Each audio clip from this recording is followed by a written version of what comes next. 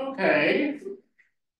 So we'll continue our discussion of fractions today. We'll talk today about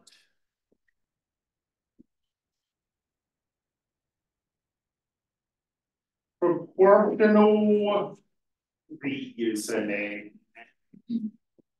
which is a major application of fractions. Like, suppose you have a recipe that calls for two onions,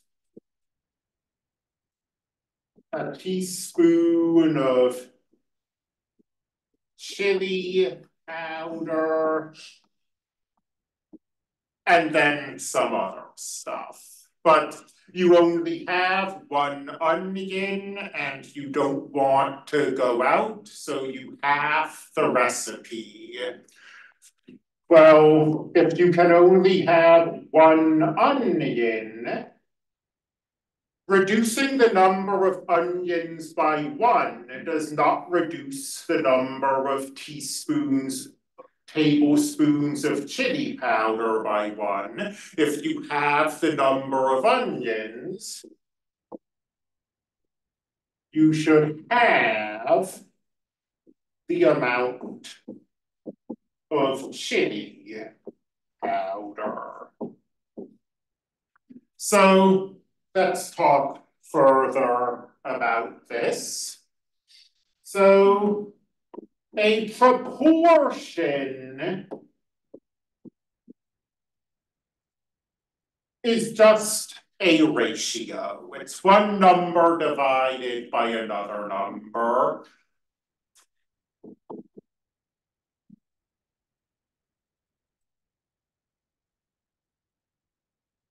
But instead,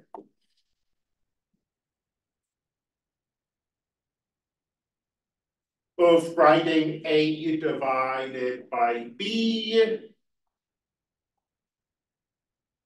we indicate a proportion by A colon B.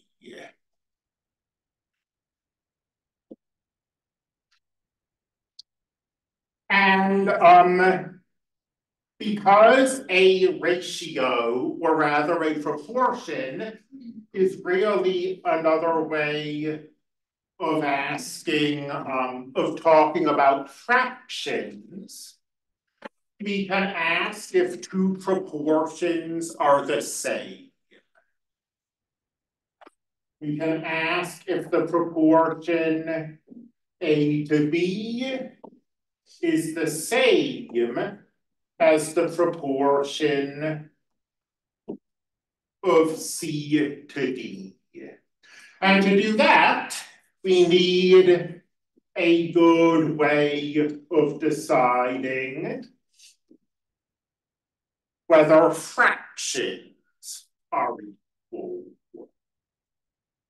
Because proportions are fractions. And to decide if a fraction is equal there are a few things you could do. You could get a common denominator, for example.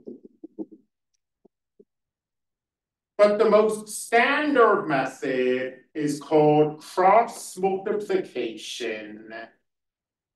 Two fractions are equal if those products are equal. And then because a proportion is really a fraction,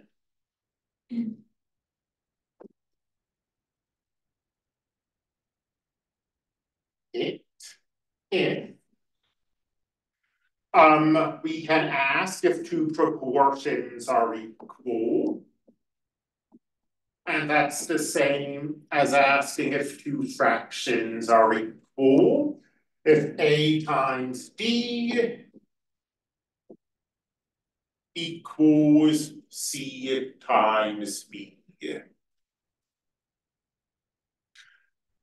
So as an example of this, um, you've probably noticed that um, elementary educations use heavily female.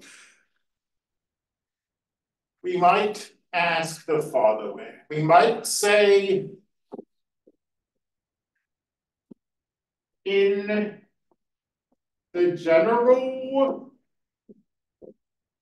population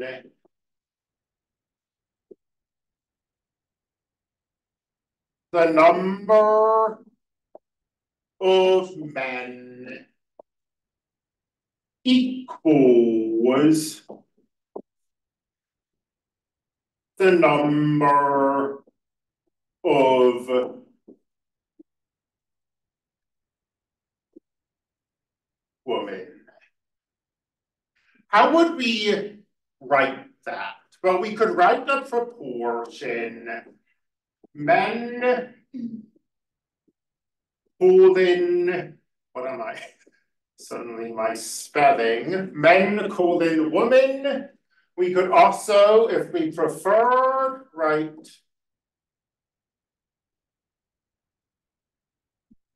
woman to men, men to woman, woman to men. This is going to give us the same amount, I mean, the same information in the end.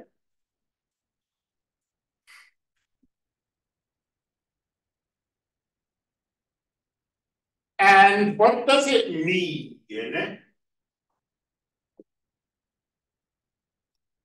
If we write that this proportion in the general population is one to one.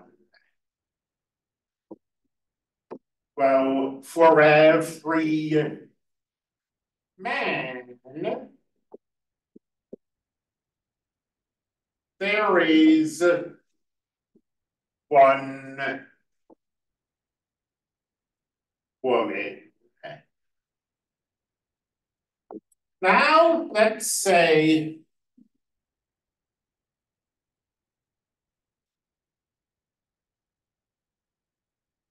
that instead of the general population,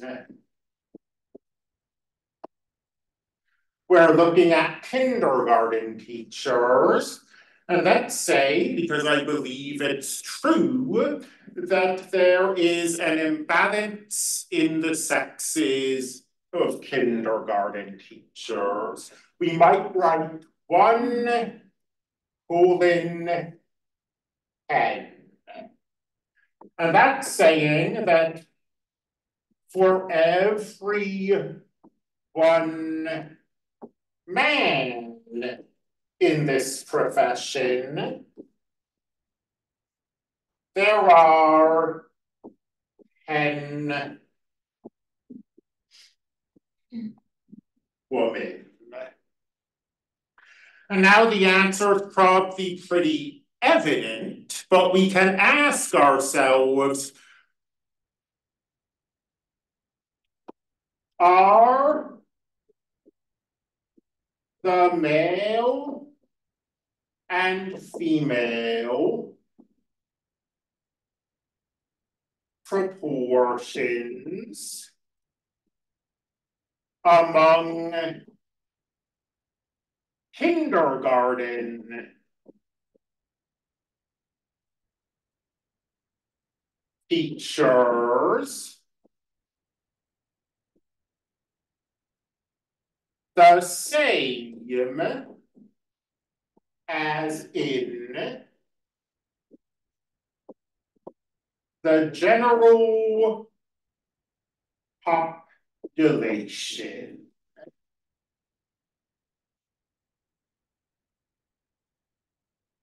So we've got this proportion, men to women, and we're saying that in general, that proportion is one to one. But in the kindergarten, that proportion is one to ten. And we are asking if those are the same. And I always, I won't say cheat because what's that mean? Who am I cheating? But I can never remember the equality for when we just have proportions. I can never remember that off the top of my head. So what I always do is go back to fractions. That first proportion represents the fraction 1 over 1. That second proportion is the fraction 1 over 10. And then I can cross multiply. And 10 certainly is not the same as 1. So I can answer that this proportion is not the same. And I mean, I don't want to get too heavy in this class, but you see proportions talked about a lot in this context in regards to like racial or gender inequality. Like if you look at the proportion of black um, citizens of this country versus white citizens of this country and compare it to the proportions of black presidents to white presidents, those proportions are not the same. And we can say that black people seem to be underrepresented in that office.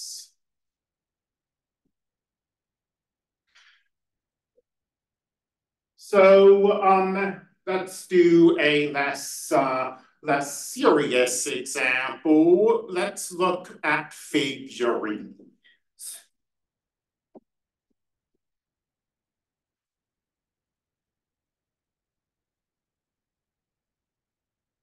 Those for action figures.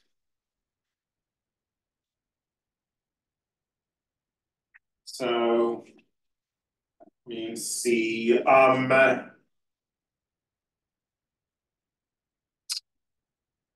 let's say, what's the proportion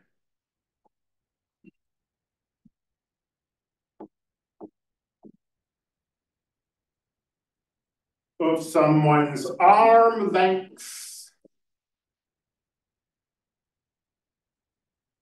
to someone's height? I don't know the answer to that, so I'm just going to say, well, my arm goes down about halfway to my leg.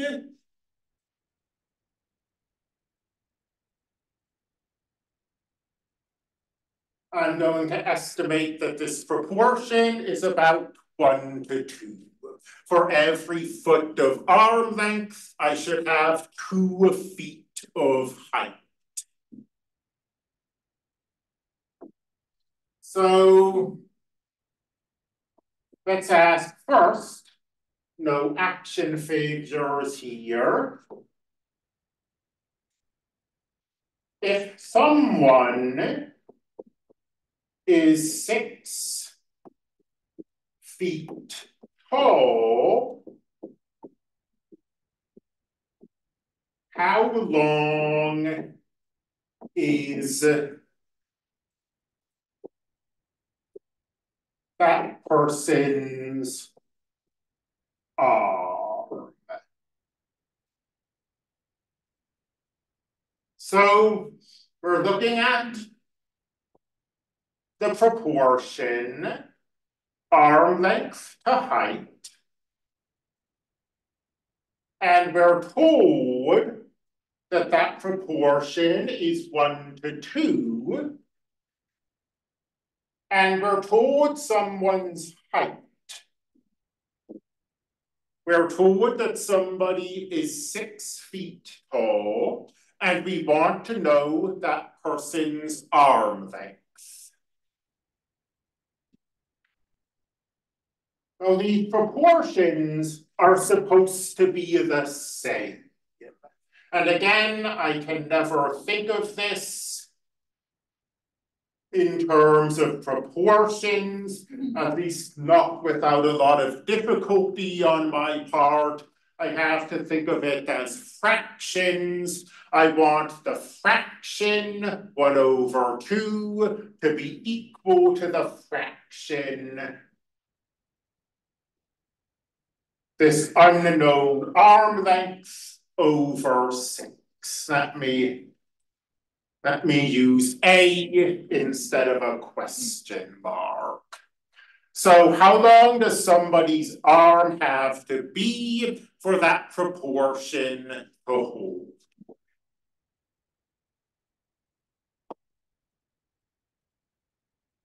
Again, the best way to think of this is probably cross multiplication. There are other ways.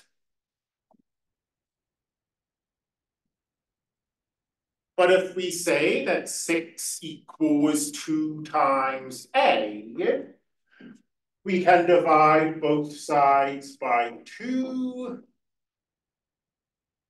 And we can get um, what this person's arm length should be, which is probably, uh, probably my proportion is a little off. I don't think my arms uh, yard long, but anyway, we've solved the problem. Somebody who's six foot tall should have a three foot long arm.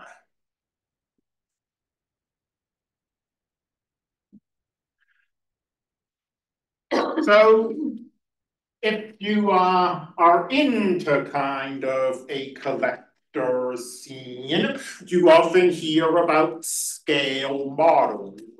And when a model is called scale, what that means is that the proportions of the model are the same as the proportion of the actual thing. So let's do one of the problems from the homework.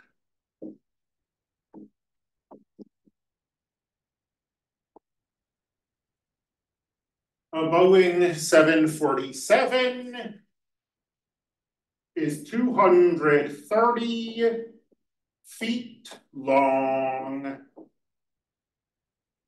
and 195 feet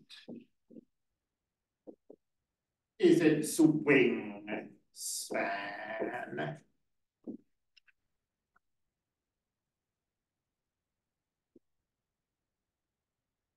And now,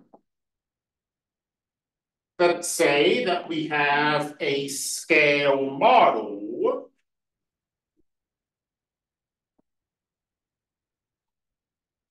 And the scale model is 40 centimeters long. what will be the wingspan of this scale model. Let me call our calculator up because we are about to use to need it.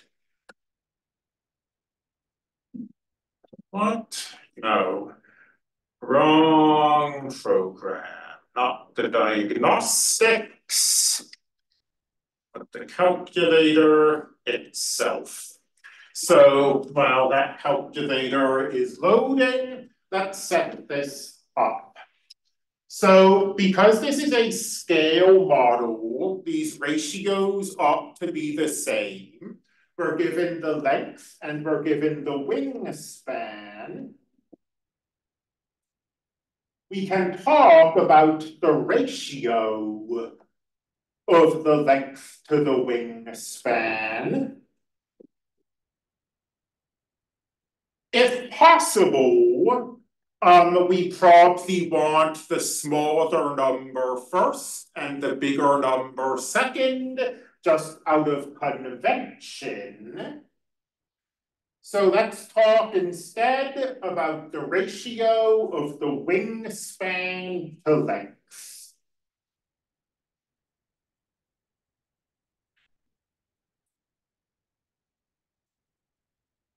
195 feet of wingspan correspond to two hundred thirty feet of length. And over here, an unknown amount of wingspan corresponds to forty centimeters of length.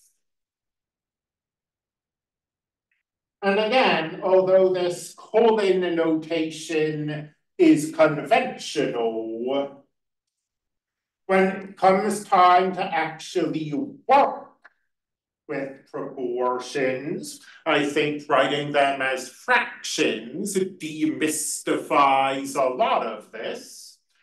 195 over 230 should equal the wingspan divided by 40.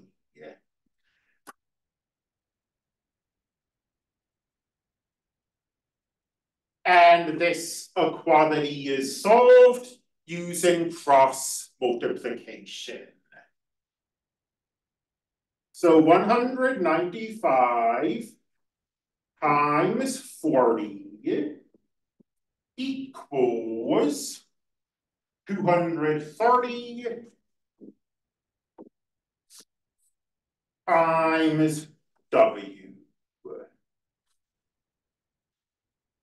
I don't think this class like says that it requires a calculator, but like uh just at least like a four function calculator, so you don't have to do all of this by hand will at least be helpful.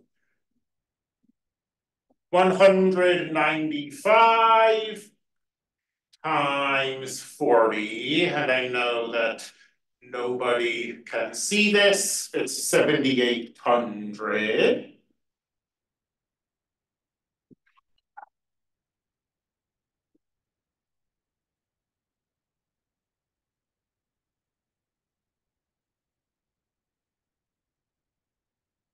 Equals 230 times W.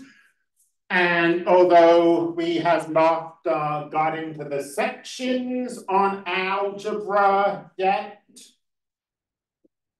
our hope is that we can solve an equation like this. We can divide both sides by 230 and get W. And I don't think this is going to be anything nice. I think it's just going to be some kind of uh, messy, really, I get, oh, I guess the keyboard just isn't on, probably, some kind of messy decimal, 7800 divided by 230, yeah, thirty-three point nine, let's say. Thirty-three point nine what? Thirty-three point nine centimeters.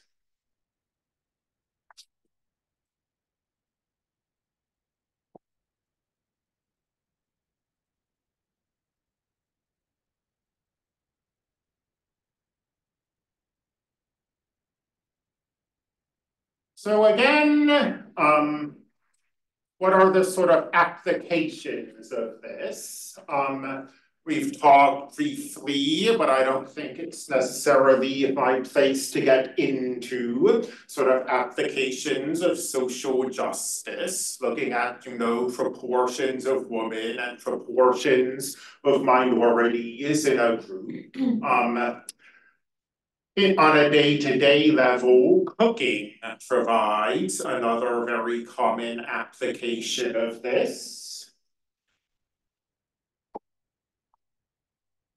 When you scale a recipe, you want the proportions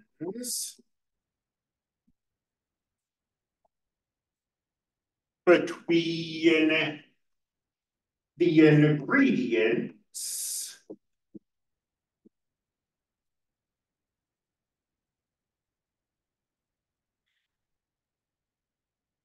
remain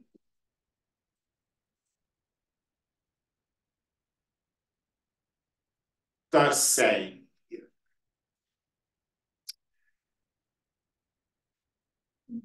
So again, that's um I don't want to do all the problems for you, but let's just take a look at one of the problems from out the homework.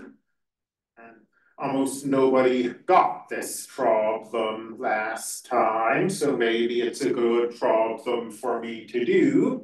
Let's say we have one teaspoon mustard seed, three cups chopped tomatoes, one and a half cups chopped scallions, and three and a fourth cups of beans. So um, that's what the recipe is supposed to be.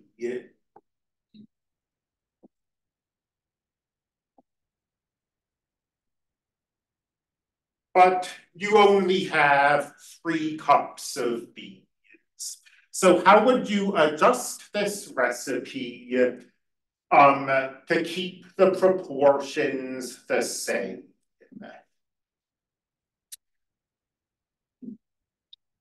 Well, what we probably want to do, I mean, the proportions, um,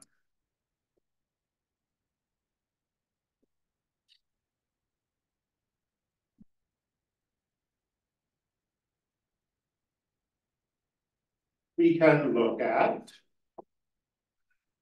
are the proportions between the original and the scaled recipes. And in the original recipe, there's three and a fourth cups of beans versus the scaled recipe where there are only three cups of beans. And that's just for a second. Let me label this first of all.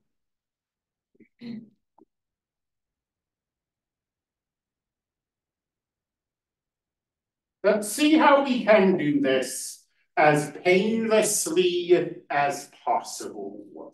Let's look at the scallions and let's go look at this in some detail.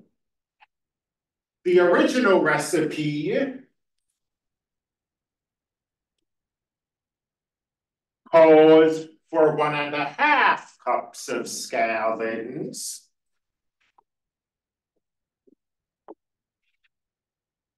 How many cups of scallions does this scaled recipe call for?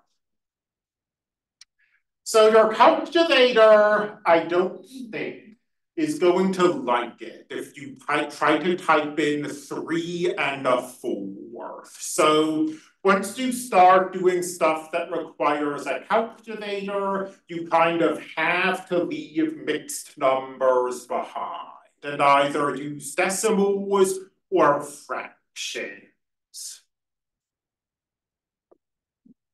Let's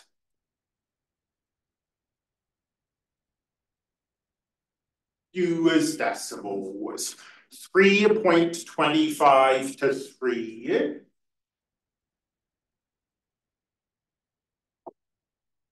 one point five to some unknown constant s. We want all of these proportions to be the same.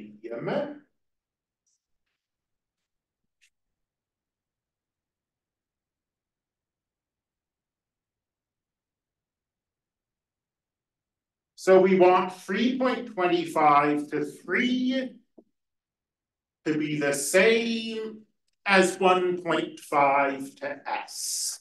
And now um there are hundreds of sort of math professors wincing here because you really it's not considered good form to mix um, decimals and fractions like this and to have a decimal in the numerator. But your calculator isn't going to care. We cross multiply 3.25 times S is 3 times 1.5. And three times 1.5, that should be what? Four, uh,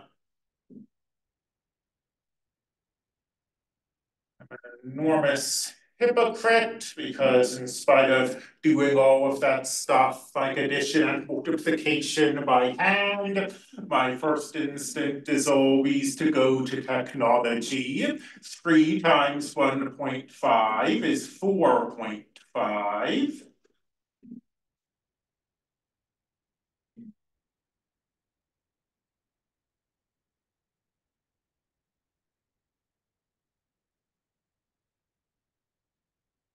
So the number of scallions is four point five divided by three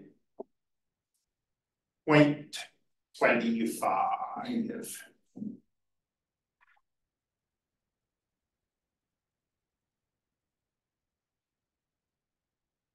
And let's see, 4.5 over 3.25. Again, I don't think this is going to be any anything nice.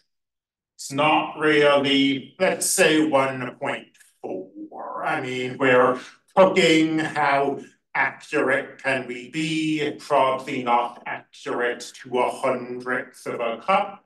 So let's say 1.4.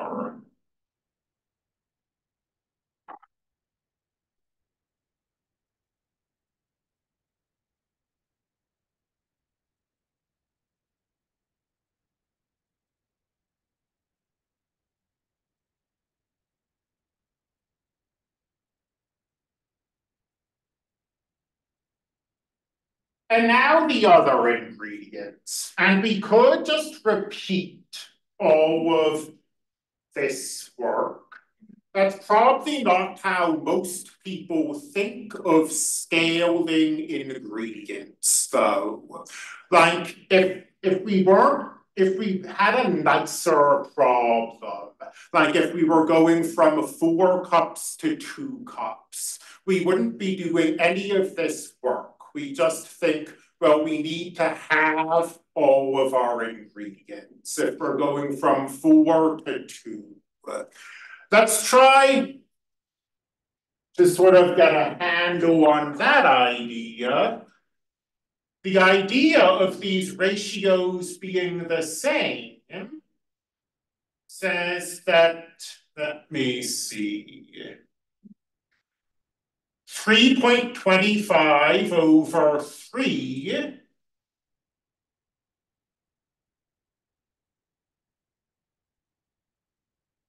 is the same, or should be the same, as 1.5 over 1.4.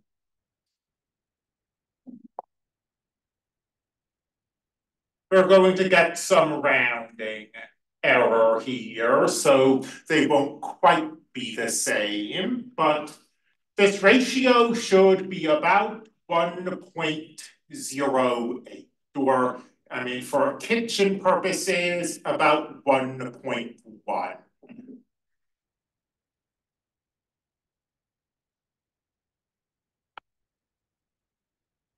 Let me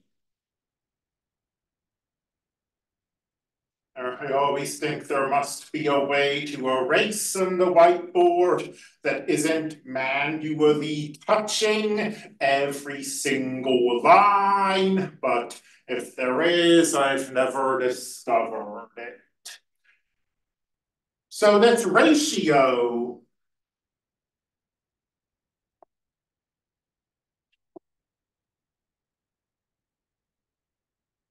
should be about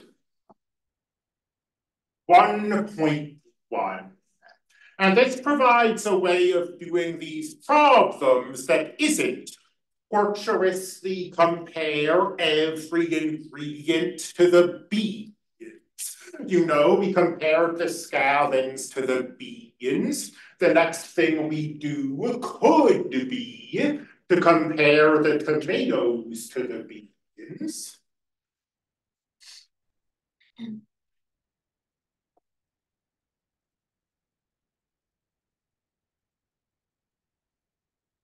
But another way of thinking about this is that this ratio is always supposed to be the same. This ratio is always supposed to be 1.1.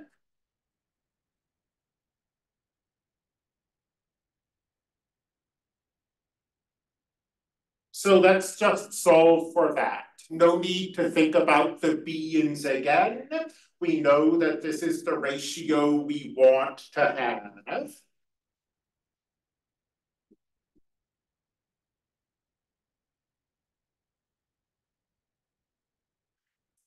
Again, we don't worry about the feelings of all of the professors who told us you shouldn't be have fractions and decimals together because we're about to plug this into our calculator and then the fraction will go away.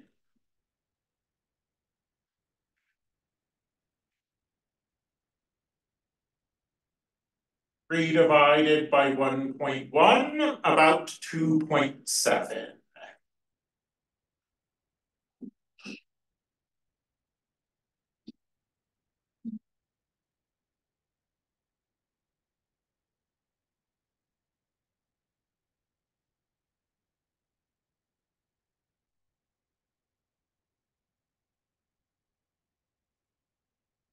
And when we then look at the mustard seed,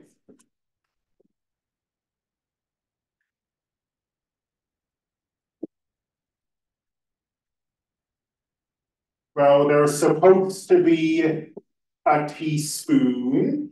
We don't know how much there actually is, but the ratio is supposed to be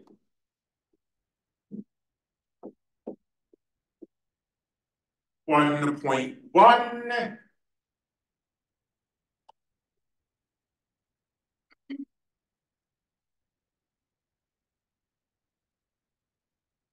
And we can solve for m by doing a little division.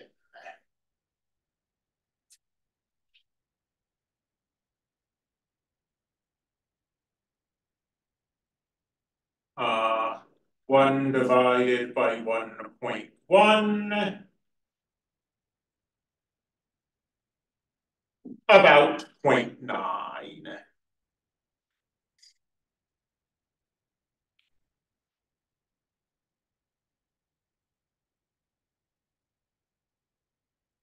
I mean, it did occur to me, I didn't want to, to change up what I was doing in the middle of the problem if you wrote the ratio in the opposite order, it might have been a little more convenient.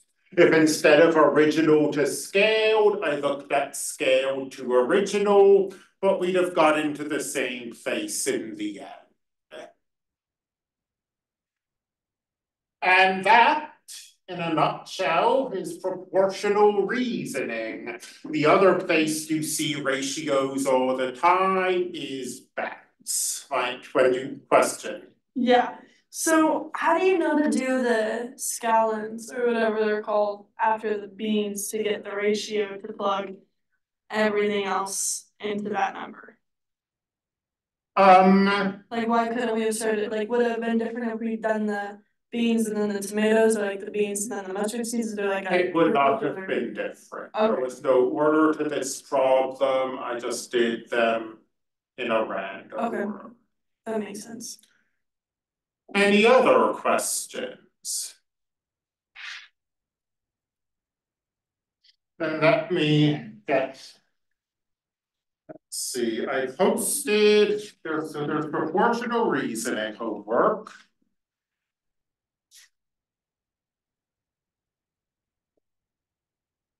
And then I posted some, uh.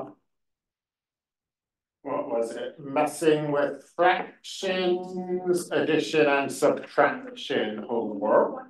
Bigger. I do have one that's bigger, sorry.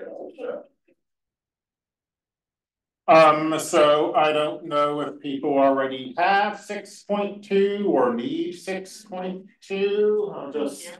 I guess, pass it out, and if you already have it. I do too. And yes, let me. Well, you have an extra one of those to add in case it's all work And let me put this through rows first. Um, or shall read it again? Yeah. And 6.2. angle